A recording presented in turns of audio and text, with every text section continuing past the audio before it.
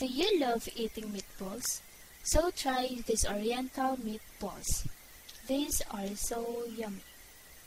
It will make your day perfect. This is a lovely and yummy oriental meatballs that the whole family will really love. It is full of flavors. When you tasted it, I am sure that you will be craving for these wonderful oriental meatballs.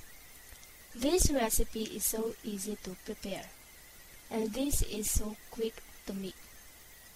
You must try this one because this is indeed tasty and it has a fantastic taste. So try it now. Just make sure that all the ingredients are in front of you.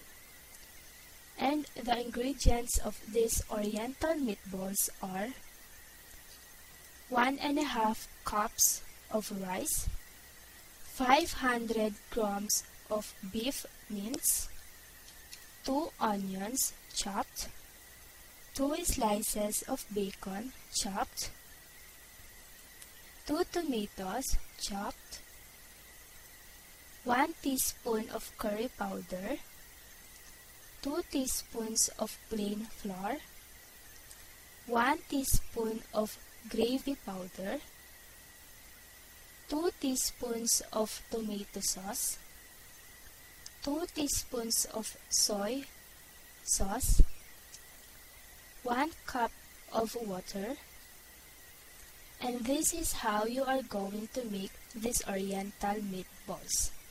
First, boil rice and drain. And then, roll mince into small balls and fry in butter. Lift out when cooked and drain on paper towel. Fry onions and bacon until brown. Then add tomato. Mix gravy powder and curry powder, flour, and sauces with 1 cup of water.